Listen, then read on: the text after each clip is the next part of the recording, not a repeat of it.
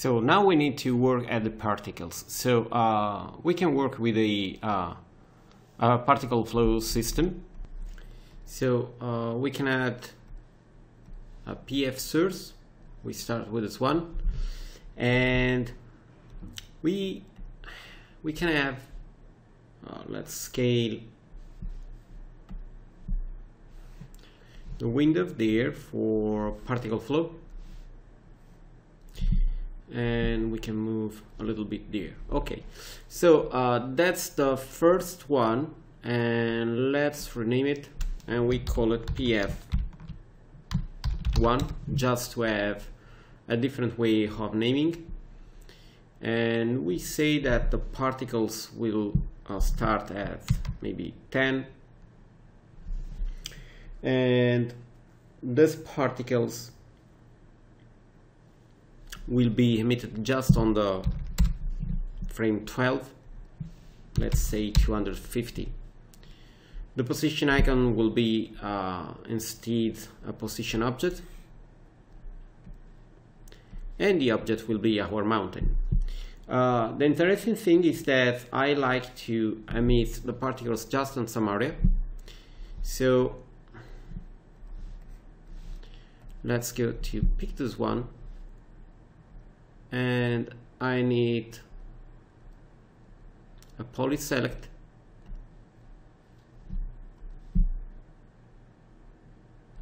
and we say that we are going to uh, let's go to have this kind of selection without backfacing and we go to have particles emitted on this area. Okay. Let's remove on the top. This faces nice. So we have just this area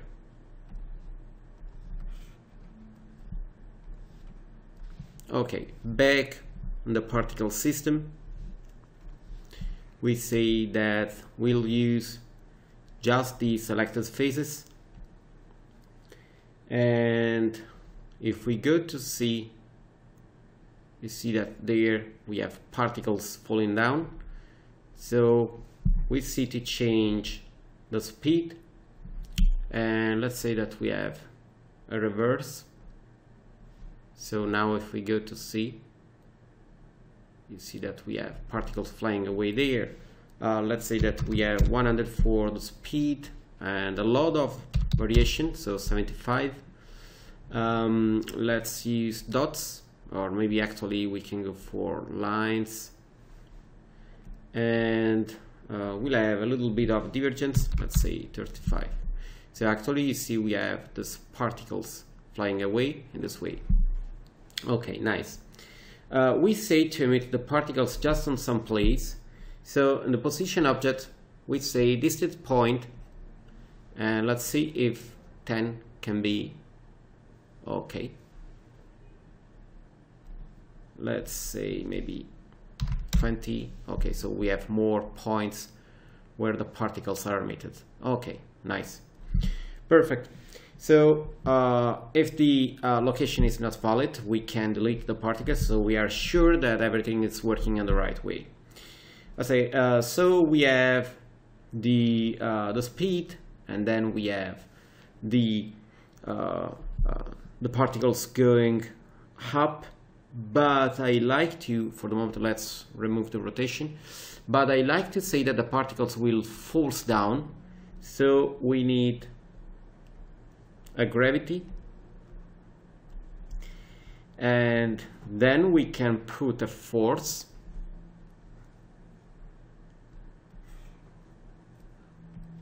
and the force will be the gravity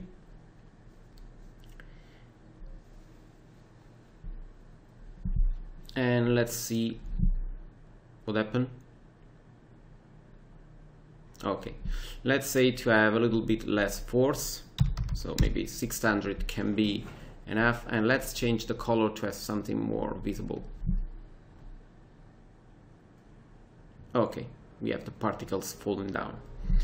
Uh, then I like to have uh, a rotation but we set as speed space followed so the particles will rotate following the uh, way, uh, the direction they have.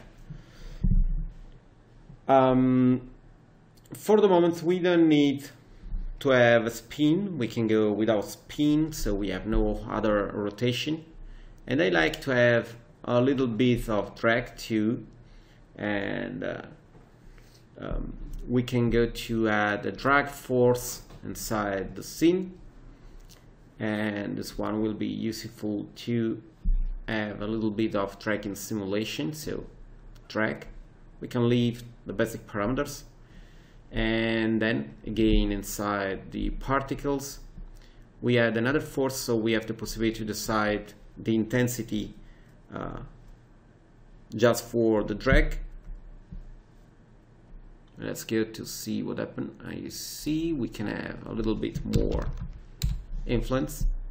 So you see it is moving in this way. Okay. Nice. Um, uh, we have some forces and I like to do it really simple so we'll have no more chaos inside the animation but I like to have uh, a spawning to have more particles. So let's go to have a spawn event.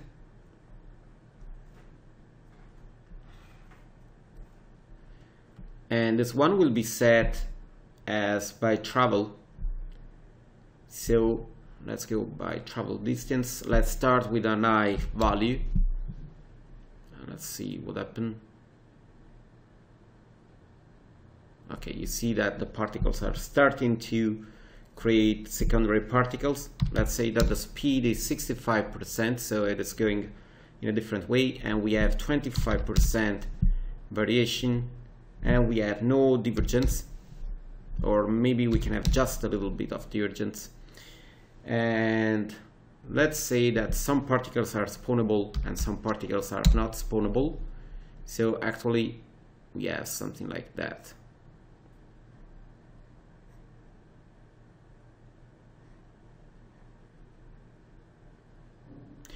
we can have a little bit of speed, more speed at the beginning.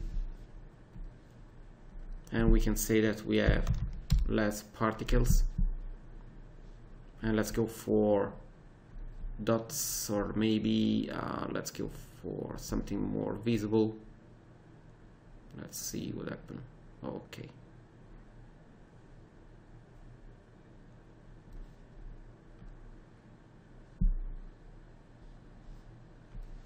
I like to have more speed. And let's say 150 okay now maybe it is a little bit too much so let's go for 180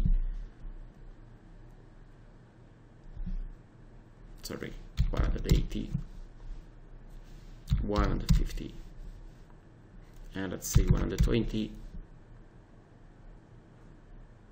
okay. Uh, the particles needs to die so we go for uh, delete. And the delete will be after a while so let's try 8 frame with 2 frame of variation. Uh, let's see what happened. Maybe we can go lower so let's go to C, we have the particles flying and then they are there. And then they can die. And if we have uh, the restart particle age and then we use a copy of this one we can connect also the spawned particles. So we'll have the particles flying but we can do it later. I prefer to have more control there. So let's disconnect this one and let's recheck with dots. And let's uh, remove the restart particle age. Okay, uh, we can go back to have, uh, let's say, um, dots uh, dots it's not so visible. So let's try again with the ticks. We have particles flying away is too low for the delayed let's go for maybe 8 and 2 okay maybe we can have a little bit more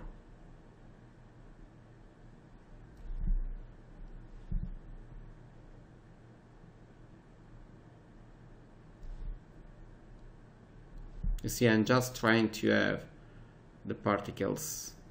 Oh, okay. Uh, it should work. okay. So we have those particles generating uh, some dust. And to do something different we can have another particle system working in the same way but different value. Uh, so let's delete this one. Then we can copy this one with the right mouse button and then paste that's another particle system. This one can be renamed as 2 so we'll use maybe just some different framing. So this one will start at 11 um, we'll have maybe uh, some different value for the position. So we'll have let's say that there we have just 10 and we have a new seed so we have particles moving in a different way. And talking about the speed we can have a different speed. So in this case for example the second one can be a little bit slower. So we can go there and say for example 100 with uh, 75 for the differences. And then we can have all the other parameters can stay the same but maybe we can have a little bit more tracking. So for example let's go for uh, 4000 and we can see maybe to change something uh, over this spawn there.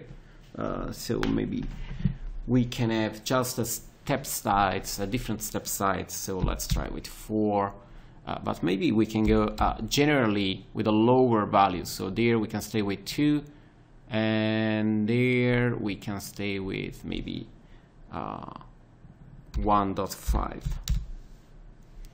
so let's see what happened. We have the particles flying away and then we have the particles dying. Okay. And talking about the life the other particles can stay uh, with a lower value for the life okay so they will die before. Let's go back and we can save and then we can do another copy. Uh, it will have uh, a different timing too. So copy paste uh, then we can move it and this one will be renamed and this will be third. Okay uh, the timing this will be uh, different and we can have maybe less particles for the first one. Uh, let's say more particles for this one. And maybe we can have a little bit less particles for this one. So we have another uh, timing. And we can have different value for the burning.